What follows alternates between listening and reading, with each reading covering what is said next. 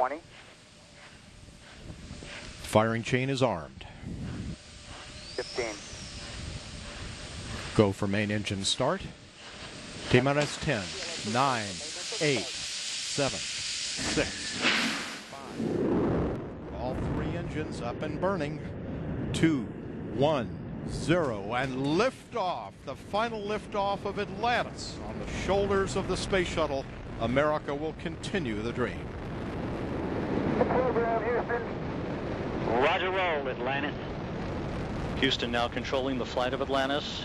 The space shuttle spreads its wings one final time for the start of a sentimental journey into history. 24 seconds into the flight, roll program complete. Atlantis now heads down, wings level on the proper alignment for its eight and a half minute ride to orbit. Four and a half million pounds of hardware and humans taking aim on the International Space Station. 40 seconds into the flight, the three liquid fuel main engines throttling back to 72% of rated performance in the bucket, reducing stress on the shuttle as it goes transonic for the final time.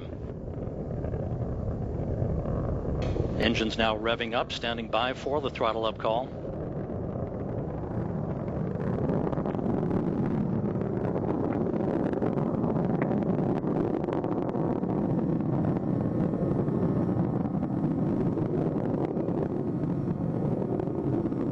Atlantis, go at throttle up, no action, DPDT. Go with throttle up, no action on DPDT. That call from Capcom Barry Wilmore, a transducer, instrumentation only, no action required.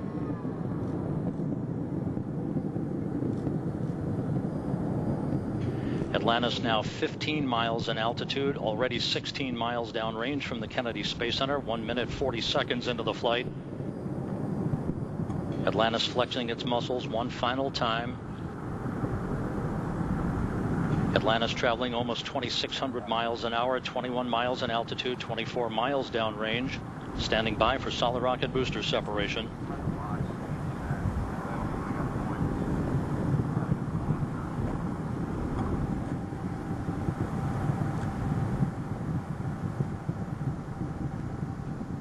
Booster officer confirms staging a good solid rocket booster separation. Guidance now converging.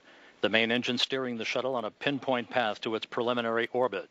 Two minutes, 20 seconds into the flight. Atlantis already traveling 3,200 miles an hour, 35 miles in altitude, 50 miles downrange. The propulsion officer reports the orbital maneuvering system engines